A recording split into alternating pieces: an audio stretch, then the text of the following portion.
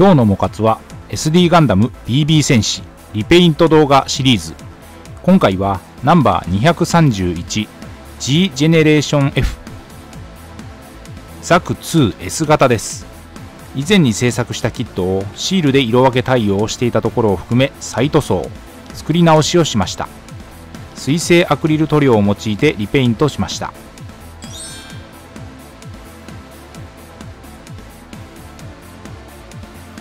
早速塗装の様子を見ていきます。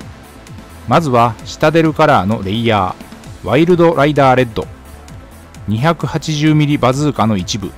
ビームバズーカの一部。そしてバックパックに塗り入れ。続いて下出るカラーのベース。メカニカススタンダードグレーです。ワン部の一部に主に使いました。使用したカラーごとに見ていきます。今回の塗装で使った塗料はこちら。ザクが使用する白兵専用の武器ヒートホークに黄色。下出るカラーのアバーランドサンセットです。下出るカラーのベースマクラーグブルー。こちらもヒートホークに使ったカラーです。少し黒みがかった仕上がりになりましたがシタデルカラーのコントラスト Black Templar を使いました。頭部胴体脚部バックパックそして武器には軒並みこのカラーを塗りました。頭部のメンテナンスハッチは開閉するキットの仕様になっていました。ザクマシンガンのマガジンは取り外して背部に装備が可能。ビームバズーカは機動戦士ガンダム2でシャア専用リックドムが装備していたもの。ムラにならないようにコントラストメディウムという溶剤を使って薄めながらペイントしました。かかった時間は約60分の塗装でした。下出るカラーはホビー用の水性アクリル塗料。塗料の食いつきも良く隠蔽力が高いので下地の色を気にせずに塗ることができます。イギリスのゲーム制作会社ゲームズワークショップが販売しているマットな質感の水性塗料です。使用した筆は基本は模型塗装用の面相筆面積の広い箇所はブラシを使って時短させ効率よく塗装しました。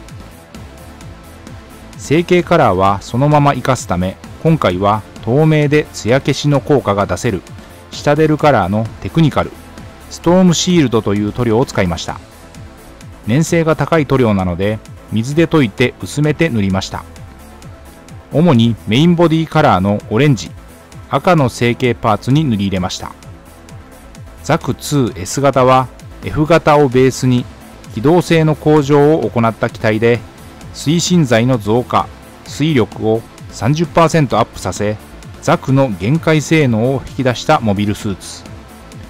マルチブレードアンテナは指揮官機である証ショルダータックルから強烈なキックへの連続攻撃でガンダムを圧倒します。最後はショルダーアーマーとシールドの裏側にファレホのゲームカラーブラックを塗りました。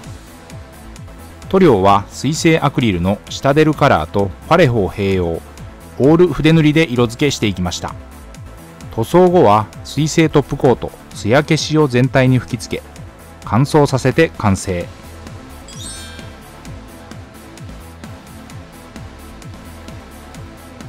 色塗りが終わった各パーツを組み上げていきます。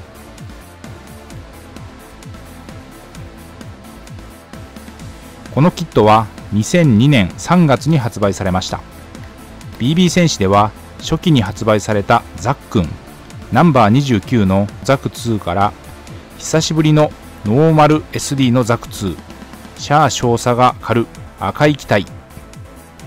BB 戦士はガンダムシリーズのモビールスーツを23頭身で表現。リフォルメした SD ガンダムのプラモデルシリーズ。1987年の発売開始。BB 戦士の名前は BB 弾の発射ギミックに由来。頭部のハッチを取り付けてザク 2S 型本体を組み立てました。